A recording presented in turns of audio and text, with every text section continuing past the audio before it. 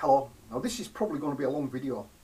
Um, many, many years ago, in 1987, I had a book called Detecting the Fakes by Robin Lumsden. It was part of the A Collector's Guide to Third Reich Military series that I've reviewed some on, on YouTube a few videos ago. Original book was in blue covers, originally published 1987, reprinted in 1992 with the same blue covers. When I got it, it was completely disappointing because it told me nothing about fake German badges that were available even in 1987. Unfortunately, Lumsden stuck to showing repro badges of the lowest, poorest quality that were made by somebody in Gloucester. Now at the same time in 87, Nicholas Merigi was still on the go and Merigi's badges were top quality, die struck, but they were expensive at the time. Uh, a Nicholas Merigi badge of the Iron Cross, Iron Cross second class was about £4.95. the, the badge from one of the, the shop in Gloucester was next to nothing. In fact, the guy in the Gloucester shop used to sell repro campaign medals, German imperial decorations, Third Reich decorations, but they were all of very, very low quality cast pot metal and the combat badges had a thin needle pin on the back of them. And as soon as you turned them over and looked at the back, you knew they were fakes.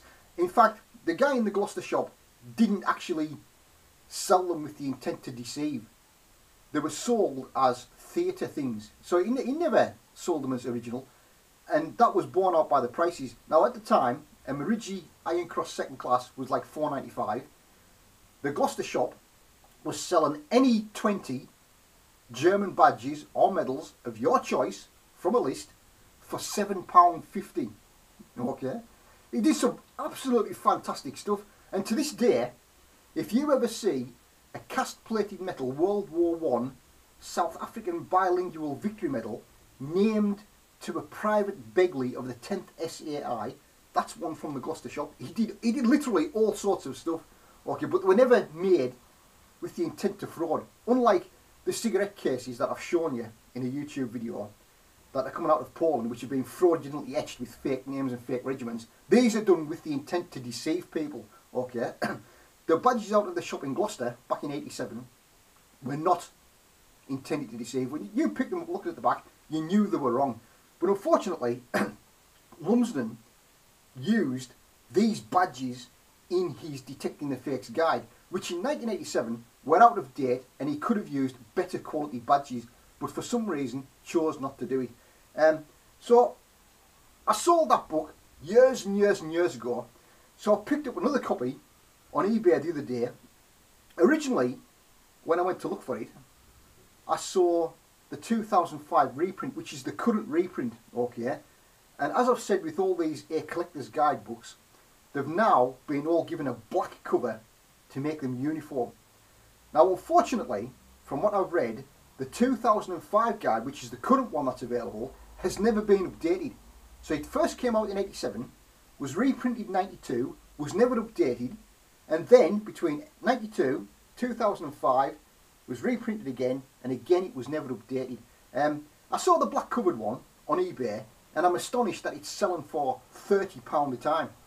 The original one cost £9.95, so the other day, cruising through eBay, and I found reprint with blue covers for £4.99. So I bought it and I've got it. So I'm going to do a review of this book um, and tell you why I don't recommend you buy it. And we'll, we'll have a look through it. Uh, but first, there's a couple of reviews of how, how this book is out of date, or the reprint is. There's a couple of reviews that I've found, which I'll read them out. One's a British one, one's an American one. Now, when you buy these A Collector's Guide 2 books, they tend to be cellophane wrapped. And when you see the picture on the likes of eBay of the current black covered book, you're buying it based on what you can see on the cover, okay? Now people that pick up this A Collector's Guide to Detecting the Fakes, you're looking at it and you think, that's going to be a really good book, that's going to tell me everything I need to know. No, it will tell you absolutely nothing about the current top quality fakes, okay? Even when this book was new in 1987, it was of no use because it only concentrated on fake badges and medals that were made by someone in Gloucester who I actually knew as far back as 1980. Okay, so this is the book that came anyways. Hang on a minute. Now, Detecting the Fakes by Robin Lumsden. This in the blue covers is the 1987 and 92 item. This particular one is the 1992 reprint. It's since been re republished, 2005, all black covers, different photographs Sorry, The, the, the all black covers one's got a picture of a German soldier and some badges and medals and stuff. So when you look at this book, you're going to look at the cover and you're going to think, that's going to tell me everything I need to know, I'm going to buy that. Problem is, the modern one is like £30 to buy. Very, very expensive. It's vastly overpriced. It's never been updated. And I would say avoid it because it won't tell you anything at all. And we'll go into why. Uh, but first, these are a couple of reviews that I found. Now, given the date of the reviews, they obviously refer to the currently available black covered one that you see on eBay. This is from 2007, a British review. Unfortunately, this title was originally written in 1989 when the fakes in question were, were vastly inferior to those encountered today. Which they actually weren't, it's just that Lumsden chose the really shittest quality repros to show in his book. Okay? I would imagine that even the most basic newbie will find little in this book to help them now. This is an American one from 2009 and again it refers to the current reprint that you see on eBay for 30 quid. Stay away from Detecting the Fakes which is by Robin Lumsden that book is so crudely done and was outdated when it first came out. It is of about it is of almost zero value. On a scale of 1 to 100, with 100 being the best, I would rate the book at, a, at about a point 003. And this is because upon looking thoroughly through that book, it taught me about how not to use it as a reference guide. Now, Lumsden's book, 19, 1992, I've earmarked a little page here, and it says where the, where the pictures are concerned, unfortunately, and this is where this is where it's of no fucking use whatsoever. The badges that he chooses, he shows an original badge, okay, but the fake badge that he shows is a crudely cast metal one from a shop in Gloucester. For example, these are the reverses of items shown in plate, blah blah blah. The only real giveaway with this reproduction, which was purchased direct from the Gloucester manufacturer is the thin needle pin typical of his copies. Okay, that's about the General Assault badge. So it says, and I quote, the only real giveaway with this reproduction, which the guy's actually talking shit because they're very poor quality, and as soon as you handle them, you know the reproductions, okay? So that's not the only real giveaway. But it says, the only real giveaway with this reproduction, which was purchased direct from the Gloucester manufacturer, is the thin needle pin typical of his copies, okay? Which is one of them there. And unfortunately, he's used the Gloucester manufacturer's badges throughout the book to, to show that this is, if you're going to find the reproduction, then it's going to be one from the Gloucester shop and it's going to be of this quality, which was bullshit because there were far, far better copies available, but he just did not use them. And again, that's the back of an original General Assault uh, Combat clasp. That's one from the Gloucester shop with the thin pin on the back.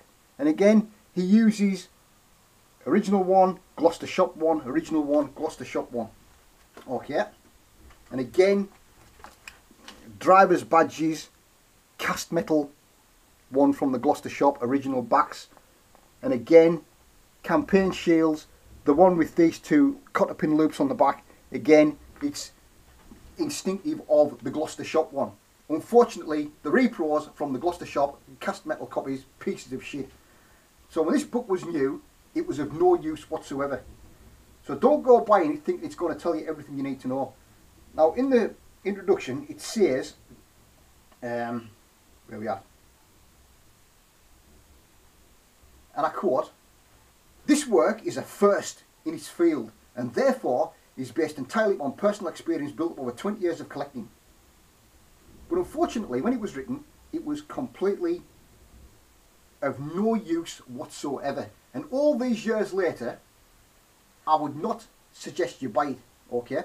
Now, as I've said, back in the day, when this was a new book, he should have chosen items from Nicholas Murigi, who's still in operation. Murigi's stuff averaged £4.95 for an Iron Cross second class. The shop in Gloucester that he refers to in the book and that the badges are from, we'll take a look through it because I've actually still to this day got some of the Gloucester Shops copies, which we'll have a look at, which I've been using when I have a genuine badge and a fake badge, and I do a comparison. So you've actually seen a couple of them before, but not known about it. But anyway, the Gloucester shop in question used to advertise in Exchange and Mart magazine. It was called the Curiosity Shop, and it was situated in Southgate Street in Gloucester. And the guy did all sorts of stuff. Um, predominantly, there were crude cast metal copies which were plated, and they were never intended to fool anybody. You could never ever pass them off as originals, and to this day, I fail to see why Lumsden chose to use those badges as a representative selection of fakes that were available because they weren't fakes as such. Nobody would be fooled into believing they were original. So I can't imagine, uh, well, I can't understand how Lumsden uses them as examples of fakes that were available. There were better quality fakes available, but he never used them, and I, I don't know why. Anyway, the shop in Gloucester, which, uh, God, I, I used to wheel and deal with them back in the 1980s when I was still at school, went out of business in the 1990s. So in, in the current reprint, it's referring to a business that closed down years and years ago. And you very rarely encounter any of these guys' badges from Gloucester now on the collector circuit because they've been overtaken by near perfect copies. The guy in question was a bloke called John. John and his wife ran the curiosity shop in Gloucester and they used to make medals and badges on the premises. And in fact, they did all sorts of Victorian campaign medals, battle shields, combat awards, decorations, medals, all the way from Imperial Germany, the Third Reich, British campaign and gallantry awards. They did all, literally all sorts of stuff. And at the time, you could have any 20 off his list for £7.50. Now this was at the time when Marigi was selling proper die-struck repro iron cross second classes of £4.95. So maybe Lumsden chose to use them because they were cheap to buy in quantity. But I think it was a bad idea way back when to use those as typical examples of fake badges because they were theatrical prop things. They, they were not fake as such. They were just very, very crudely done, and you, you would never be deceived into believing they were originals. Unlike some of the stuff that turns up on eBay now, you could never ever pass them off as original pieces. So we'll take a look through this book in a bit better detail. It runs to 144 pages.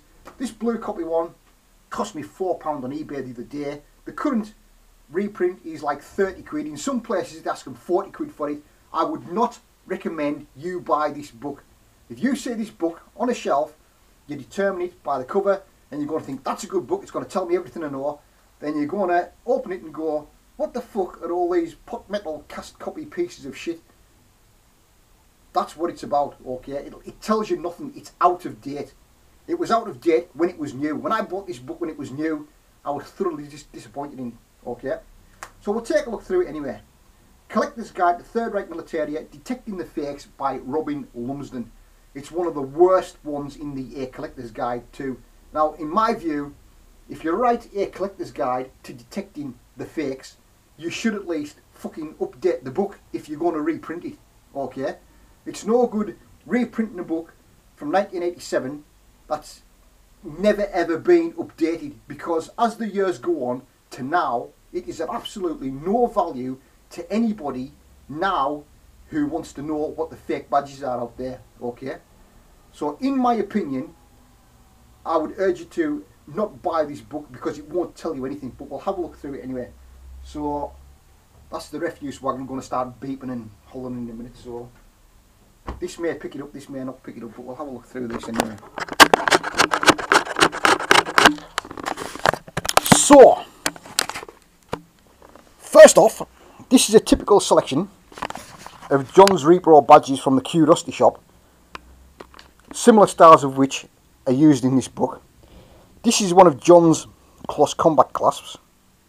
Okay, detail looks good on the front, but it's crude cast metal, which is plated, and all of John's badges were crudely finished on the back with this really shit needle pin. Now there's no way you could pass this off as an original badge, okay? This is one of John's typical combat badges. Looks good from the front, but on the back very crudely finished and again with a needle pin. Could never pass it off as original. One of John's German medals. Looks good, but when you hold it between the fingers of both hands, there is an amount of giving it. It's just pot, pot metal, which has been given a, a bit of a coating. Okay, and again, another one of John's medals. Again, it's crudely cast, plated, and there is an element of giving it.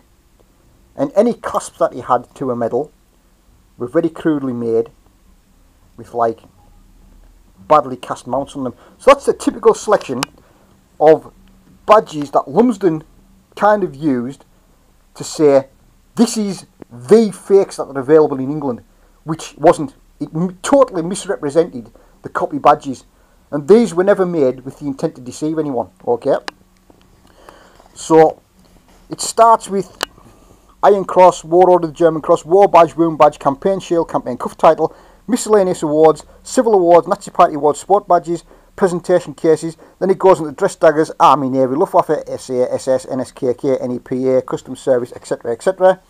Then it goes through Headgear, Tunics, Insignia, Miscellaneous Regalia.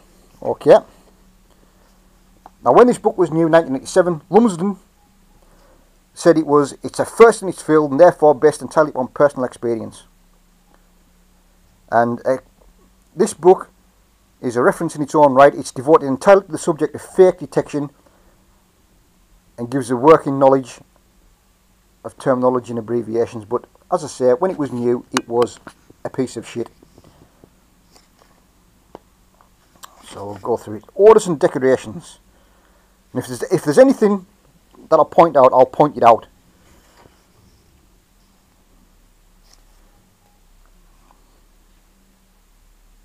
Most most reproductions of the Knight's Cross are easily detected, being of the one-piece die-struck type in soft lead base or brittle glithy alloys.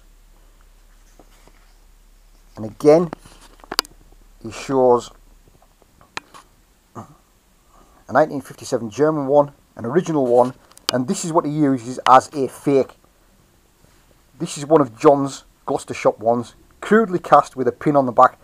So he gives the impression, does Lumsden, that if you're going to find a fake, that's what to look out for, which completely misrepresented repro badges that were available at the time. There were far, far superior quality ones about.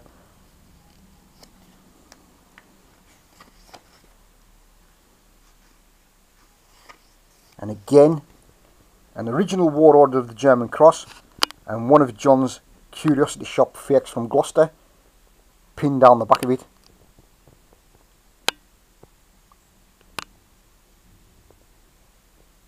And the fake at right is a flat single piece casting produced by a Gloucester dealer as a Fillmore stage prop. So even, even Lumsden knew it was a Fillmore stage prop, prop, prop, prop, but he used it as an example of a fake badge. Now at the time, Nicholas Merigi was producing far superior copies than that. So it completely misrepresents what a copy German badge was back then. And again, originals and a Gloucester shop copy. Again, just, just as I've shown you, the back of an original clasp, one of John's Gloucester shop copies, and in 2014 there's one of John's shop copies exactly the same there's no way you could pass that off as an original piece and that that that badge there in no way at all represents the fake German badges that were available even in the 1980s there were far superior badges about and that's what makes this book really really bad and again there's some more of John's fake badges. And again with the wound badge, some genuine ones and a crudely done Gloucester shop one. So it's a shame that he's used fake badges from exactly the same source. A Cholm shield, one of John's Gloucester shop shields, and again, all of John's shields had these two cotter pin loop things cast into the back of them. And there's no way you could pass it off as an, as an original piece.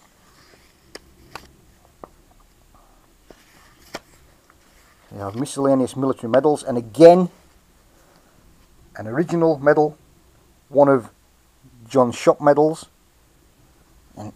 I'll show you. This is this is a typical example of John's medal. The copy is cast in lead with a bronze wash and can be bent easily by mere finger pressure. And again, as I've said, it's just given a plating, and again, it's got a distinctive cast come mould mark around it, just like it shows you in the book back in 1987. No way you could pass them off as original. Unfortunately, he used those examples in his book. And again, the SA badge for Trefan. One of the Gloucester shop ones flat backed. So it's just a shame that he used those.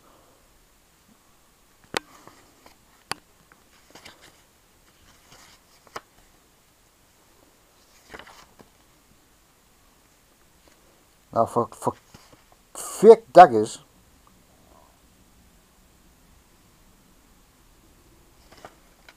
it doesn't actually show photographs of fake daggers.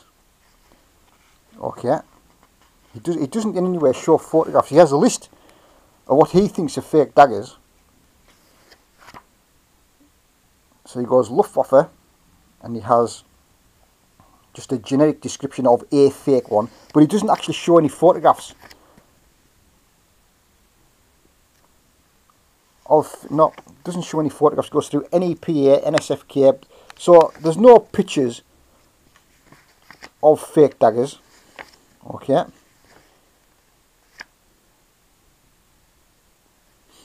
And it sh shows examples of original ones with engravings on them and stamped up.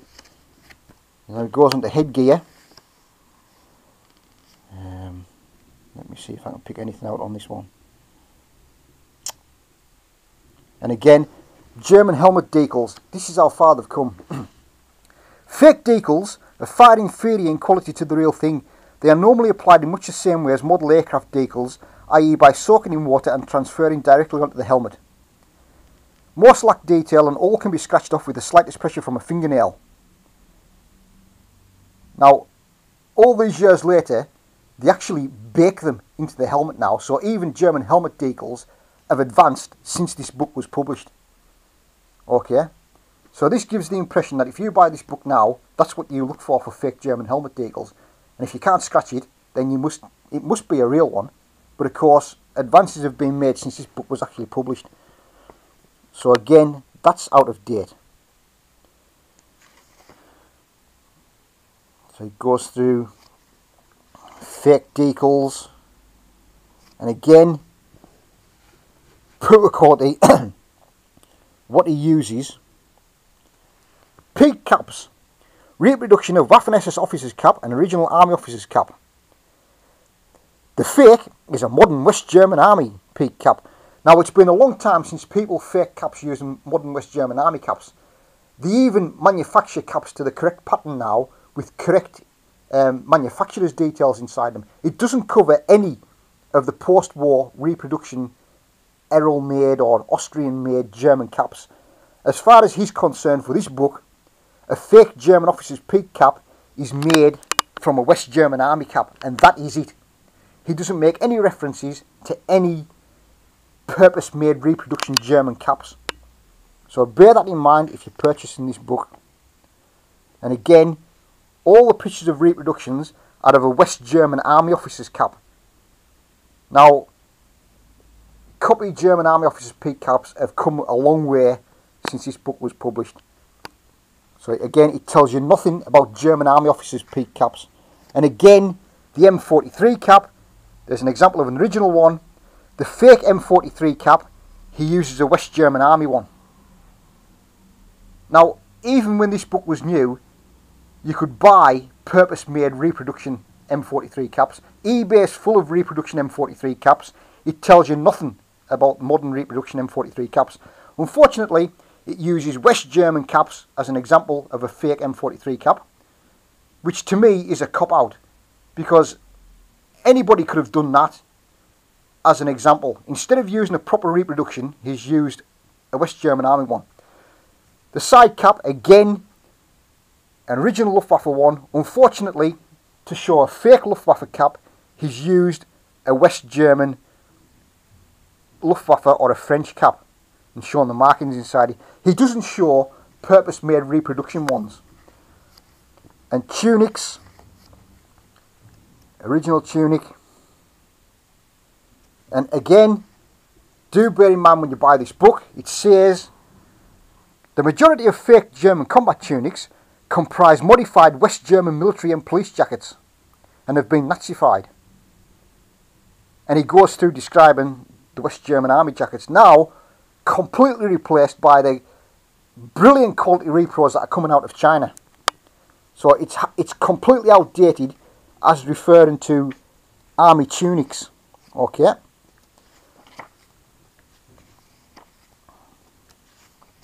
Now insignia, again, where, where fake insignia is shown, it shows, these are all fakes, and again, it shows a cast metal one from the Gloucester shop.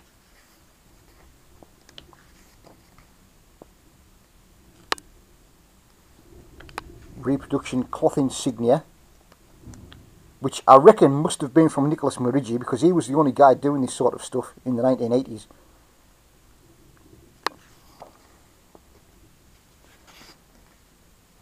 Collar patches, cuff titles, machine woven insignia.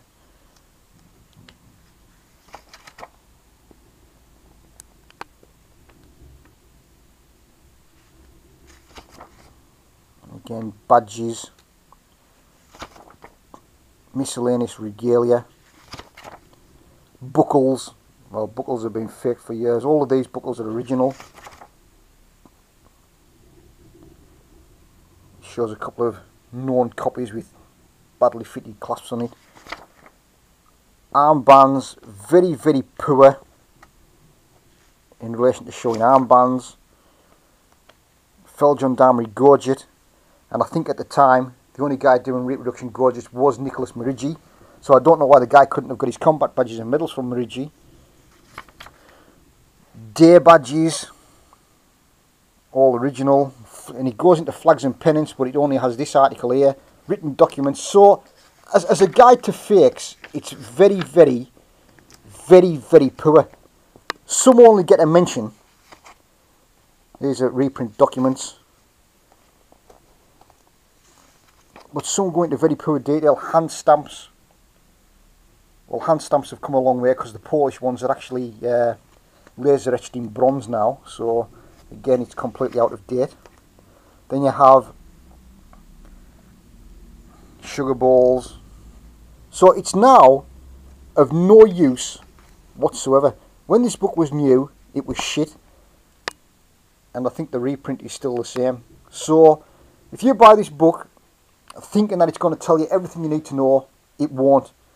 Because although in the contents it looks impressive in what it describes, you know, it goes through all the daggers, it's not a very good guide at all. Um, I'll read this introduction anyway. the antiques trade has for a long time had to suffer an influx of reproductions and copies of virtually everything that is considered rare or valuable. But no field of collecting has ever been so saturated by fakes as Third Reich military is today. The collecting of Nazi regalia began almost before 1945 during advancing Allied soldiers and during the 1950s and 60s such was the worldwide demand for all types of Third Reich items that several dealers began to have it crudely reproduced and passed their fakes off as genuine articles, often as great profit.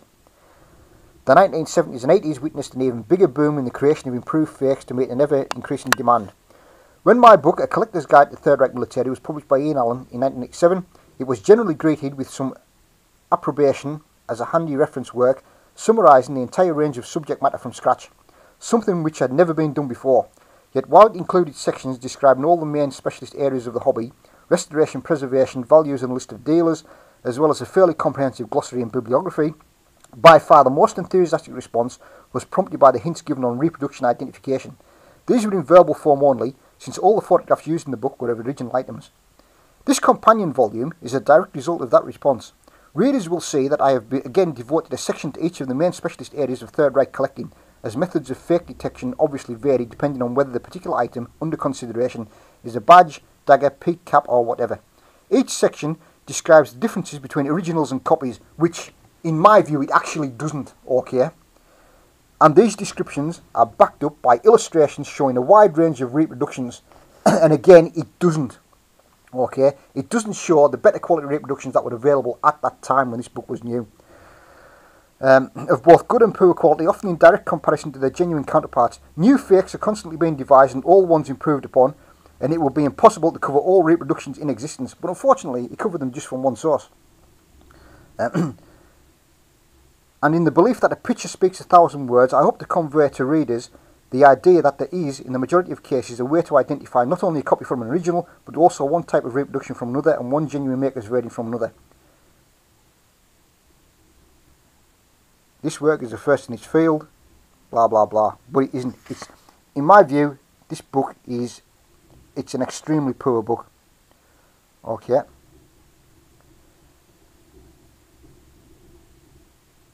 And it's, it's, it's my earnest hope that this book will prevent at least a few readers from being so defrauded, disappointed and embarrassed. Well, I can tell you folks, if you buy this book, you will be defrauded, disappointed and embarrassed because as a book on detecting the fakes, really, it's a freaking embarrassment. And it's never been improved upon. So, in my view, this book is best avoided because it will tell you nothing. Okay?